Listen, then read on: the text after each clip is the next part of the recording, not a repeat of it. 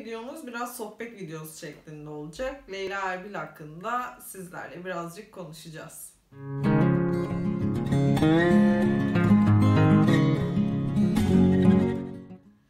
Geçtiğimiz günlerde Leyla Erbil'in doğum günüydü.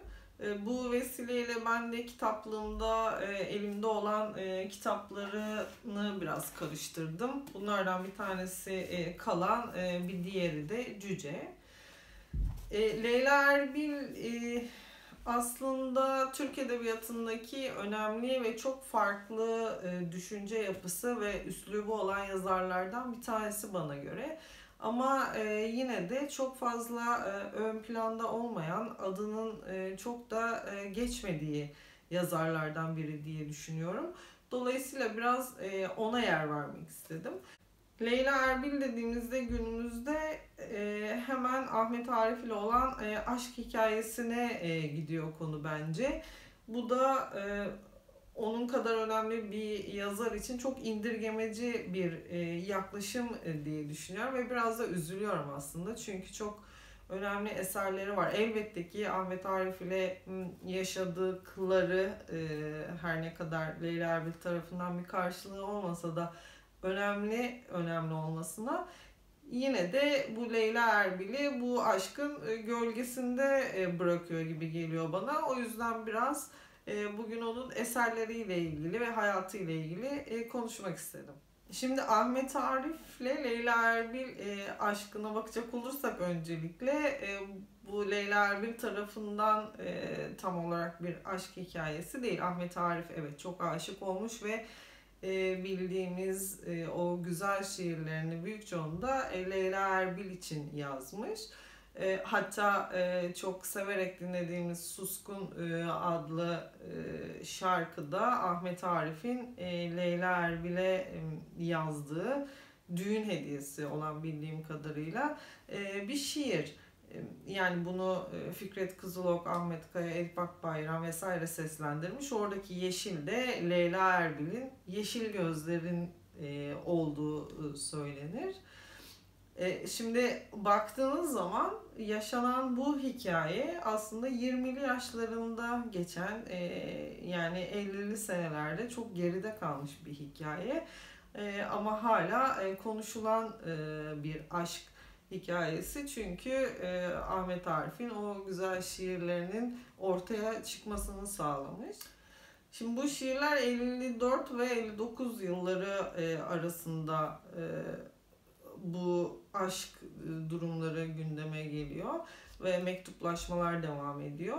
E, Leyla Erbil tarafından bir karşılığı yok ama e, uzun süren mektuplaşmalar da söz konusu. Hatta Leyla Erbil Ahmet Arif öldükten sonra e, aralarındaki mektuplaşmaların e, yayımlanmasını e, istemiş. Aslında yayımlamaya da karar vermişler ancak maalesef Leyla Erbil e, bu e, mektuplaşmaların yayımlandığı e, bu e, kitabı e, görememiş.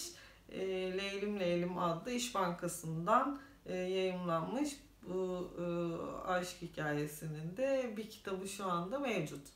Kitabın adı Leylim Leylim. E, Ahmet Arif'in meşhur lafı mektuplarının başladığı Leyla, Zalım Leyla. E, bu tarz ifadeler de aşk hikayelerinde kullanılır e, söz dizileri haline de gelmiş aslında Leylim Leylim. E, oldukça e, kullanılan ifadelerden bir tanesi ve güzel e, ve lirik tarafı olan bir hikaye tabii ama e, tabii Leyla Erbil'in aslında e, yazdığı şeyler e, bu aşk hikayesinden de oldukça e, başka boyutta. E, şimdi Leyla Erbil'in e, üslubu, e, anlatı biçimi, dili e, ve konulara yaklaşım tarzı e, oldukça e, farklı. Türk Edebiyatı'ndaki e, farklı bakış açılarından ve üsluplardan bir tanesi. E, bunu ben ilk Leyla Erbil'in ilk okuduğum kitabı Kalan e, kitabıydı. Bunu aranızda okuyanlar varsa e, tahmin edecektir. E, çok çarpıcı ve çok farklı e, bir kitap.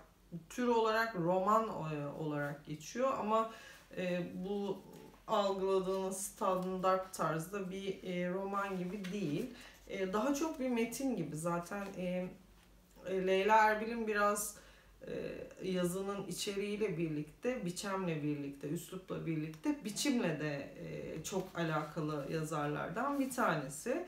E, farklı e, metin sıralamaları, farklı e, noktalama işaretleri ortaya çıkarmasıyla da e, çarpıcı yazarlardan bir tanesi. Bu kalanı okuduğumda e, ilk kez e, virgüllü ünleme ya da üç virgülü ilk kez görmüştüm. Bu da aslında Leyla Erbil'in ıı, ortaya çıkardığı bir noktalama şekli. Bu tarz farklı noktalama işaretleri, büyük harf kullanmaması, e, metnin akışındaki bir takım kesintiler veya şekilsel düzenlemeler e, dönemine göre hem çok özgün hem çok farklı. E, bunu da şöyle dile getiriyor Leyla Erbil. Bunu okuyacağım e, röportajından.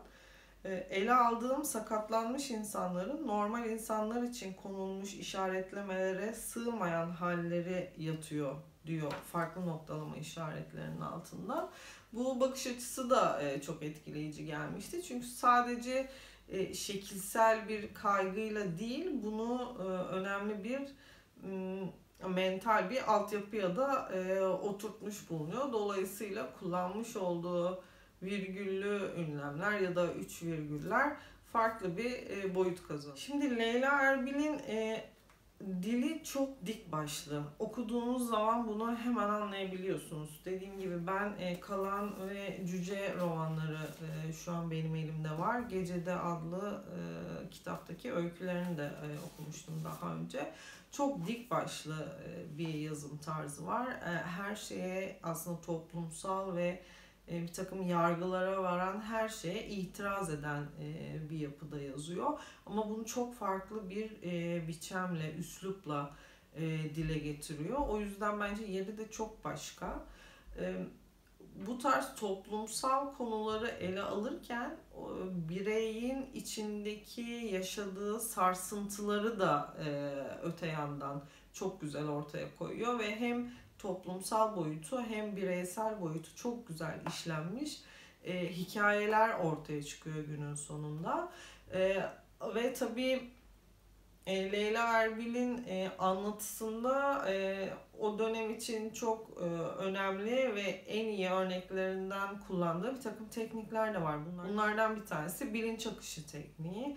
Bunu e, özellikle öykülerinde e, ve zaman zaman romanlarında e, çok yerinde ve çok güzel ifadelerle kullanıyor. Gerçeküstü ve büyülü gerçekçilik türünde yazdığı da söylenebilir. Ben çok ona birebir katılmıyorum ama yine de bambaşka bir yerde olduğu için kendine has ve çok özgün bir e, tekniği doğurduğunu da düşünüyorum. E, özellikle Kalan romanından yola çıkarak. E, o yüzden e, denenmiş olan yazı türlerinden e, çok farklı bir yerde ayrılıyor. Aslında İlhan Berk e, bunları çok güzel anlatmış. O da bir röportajında e, şey diyor Leyla Erbil için e, onun diyor yazımı bir baş kaldırıdır. Gerçekten öyle. Çünkü e, pek çok şeye itiraz eden ve çok dik başlı şekilde itiraz eden, herkesin çok kutsal saydığı birçok değere e, bir romanda bile birçok e, konuya çok e, ciddi şekilde karşı çıkan ve sert eleştiren e, bir tarzı var. İlhan Berk'in e, sözleri şu şekilde, onları da not almıştım. Ondaki baş kaldırıya dikkat çekerek e, baş kaldırı her şeydir onda diyor. E, ama bu hemen görünmez, sezilsin ister. Bu tarafıyla işte onun üslubunun ve dilinin farkı ortaya çıkıyor bence. E, o baş kaldırıyı çok açık bir şekilde sert ve yaşanan gerçek, gerçeğe dayanan şeylerle vermeyip daha lirik, daha üstü kapalı, daha imgesel ve metaforlara dayanan e, konularla vermeye çalıştığında bambaşka bir üslup çıkıyor. E, İlhan Berk onun konusu dildir demiş. Gerçekten dille çok uğraşan bir yazar. E, aslında güncelin e, hayatındaki iktidara, e, askere, anneliğe, toplumsal cinsiyete, aydınlara pek çok noktada çok ciddi eleştiriler getiriyor. Ama bunu hem kendi üslubuyla hem de kendi yarattığı noktalama işaretleriyle ve kendi e, biçimiyle e, devam ediyor. Evet Leyla Erbil'in ilk yayımlanan hikayesi 1956'da e, Uğraşsız adlı hikayesi. Aslında Leyla Erbil daha önceleri şiirle de ilgileniyor. Fakat onu Sait Faik e, öyküye yönlendiriyor. E, 50'li yılların 54'te Sait Faik'in ölümüne kadar da güzel bir arkadaşlıkları var. Hatta Leyla Erbil notlarında şöyle diyor. E, Sait Faik beni e, öyküye yönlendirdi. Ahmet Arif şiirde e, kalmamı isterdi diye. Dolayısıyla Sait Faik'in yönlendirmesiyle e, düz yazıya e, geçiyor diyebiliriz e, Leyla Erbil için. Evet. Leyla Erbil e, İstanbul Üniversitesi İngiliz e, Dil ve Edebiyat bölümünde okuyor. Daha sonra e, evlenip Ankara'ya gidiyor. Orada e, İlhan Berk ve e, Vusato Bener'le e, arkadaşlık ediyor. Daha sonra İzmir'e e, yerleşiyorlar. E, çocuğunu zannediyorum kızını orada doğuruyor. Daha sonra orada yapamayıp tekrar İstanbul'a dönüyorlar.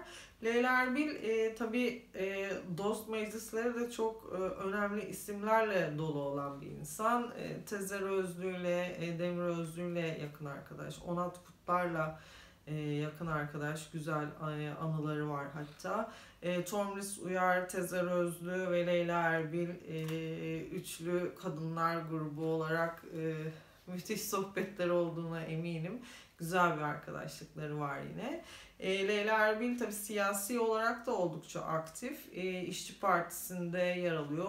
E, partinin e, kültür ve sanat e, kollarında çalışıyorlar. Burada e, Fethi Naci'nin önderliğinde Edip Cansever, Ahmet Oktay e, gibi isimlerle e, birlikte e, çalışıyorlar. E, tabii daha sonra da bir süre tabii ÖDP'den milletvekili adaylığı vesaire de var. Yani siyasi hayatın da aslında aktif bir şekilde içinde ve aslında çok e, harekete yönelik de bir kadın. E, dolayısıyla e, gördüğü ve itiraz ettiği şeylere karşı susmayan ve bunu da eserlerinde her zaman çok sert bir şekilde kendi üslubuyla anlatmış bir yazar. E, kadın yazar diye ayırmak istemiyorum aslında kadın ve erkek yazar ayrımına çok inanmıyorum fakat burada Leyla Erbil'in anlattığı dil toplumsal cinsiyet boyutu ve bir takım siyasi koşulların ayrıştırdığı kadınlık hallerine değindiği için kadın önemli kadın yazarlarından bir tanesi diyebiliriz. Leyla Erbil 2002'de Pen Yazarlar e, Derneği tarafından da Nobel'e aday gösteriliyor. Nobel'e aday gösterilen ilk Türk kadın yazar e, Leyla Erbil. Onunla birlikte aynı sene Yaşar Kemal de e, gösterilen adaylardan bir tanesi. Tabii Leyla Erbil ödüller konusunda biraz hassas bildiğimiz kadarıyla. Bunda nedenlerinden bir tanesi Said Faik çok kıymet verdiği Said Faik e, ödüllerinden bir tanesine katılıyor ama orada derece yapamayınca bir küskünlük e, sorunu oluyor bildiğim kadarıyla. Bunu da e, Ayfer Tunç'la Murat Gülsoy'un e, Diyaloglar adlı güzel e, serilerinde dinlemiştim. Leyla Erbil ile ilgili olan çok güzel bir bölümü vardır. İzlemeyenler için onu da tavsiye ederim. E, YouTube'da bulabilirsiniz. E, bu diyaloglar çerçevesinde e, aktarıyordu Ayfer Tunç. Dolayısıyla e, edebiyat ödüllerine karşı çok tepkisel de bir yaklaşımı var. Her kitabının başında da benim elimde kitapların başında bu kitap hiçbir ödüle katılmamıştır diye özellikle bir sayfada belirtiyorlar. Şimdi e, Biraz kitaplarına bakacak olursak e, en sevdiğim kitapları Kalan ve Cüce.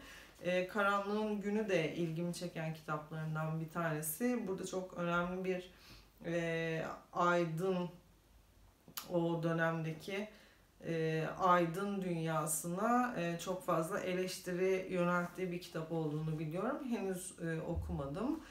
E, bir diğer kitabı Mektup Aşkları örneğin Tezer Özlü ile birlikte ele almaya çalışmışlar ama Tezer Özlü'nün vefatıyla birlikte e, Leyla Erbil e, tek başına ilerletmiş projeyi. O da merak ettiğim kitaplarından bir tanesi. Şimdi Leyla Erbil farklı konuları, toplumun bambaşka e, boyutlarında ele alınan konuları aynı potada çok güzel harmanlayabilen e, bir yazar bence. E, bir örnek vermem gerekirse mesela Kala'nın 56. sayfasında Peygamberin Burak'ına binişle yükselmeniz yerden antikristçesine Lars von Trier'in yedi katından ötesine göklerin asıl ayrılığımız ise İda dağlarındadır. Yani burada kullanılan isimlerin ve imgelerin bir arada e, ele alınabilmesi bence oldukça zor. Ve Leyla Erbil bunu çok güzel e, ve yerinde ve çok e, lirik bir eleştirel tarzda ele alıyor. O yüzden kalanın yeri bende çok ayrı o noktada. Beğendiğim bir diğer kitabı da Cüce. Bu da e, Mustafa Horasan'ın e, desenleriyle yayınlanmış. Zannediyorum özel bir e, baskısı. İş Bankası yayınlarının. Burada dikkat çeken, dikkatimi çeken bir nokta da desenlerin üzerinde mürekkep, kurşun kalem, yağlı boyayla birlikte soya sosu da kullanılmış. Soya sosunun çizimlerde kullanıldığını ilk kez e, bu kitapta görmüştüm ben. E, o da buna ilgi çekici geldi. Burada hem desenler hem de anlatılan hikaye. E, Zenime adlı önemli bir e, karakterin üzerinden anlatılan güzel desenlerin olduğu kadınlık halleri, e, toplumsal cinsiyetin e, sorgulandığı e, kıymetli Türk Edebiyatı eserlerinden bir tanesi bu kitapta. Evet Leyla Erbil'in e, tüm koleksiyonu da kızı tarafından e, Boğaziçi Üniversitesi'ne bağışlanmış durumda. Bildiğim kadarıyla en son e, Boğaziçi Üniversitesi'nde bir çalışma grubu oluşturularak bir koleksiyon hazırlanıyor Leyla Erbil için. Bu tarz koleksiyonların ya da bibliografya çalışmalarının çok e, önemli olduğuna inanıyorum ben de ve sabırsızlıkla e, bekliyorum tamamlanmasını e, uzun zamandır yürütülüyor bildiğim kadarıyla. Sonuçlandığına dair bir bilgim yok. E, zannediyorum hala devam ediyor. Çünkü zorlu bir süreç olsa gerek.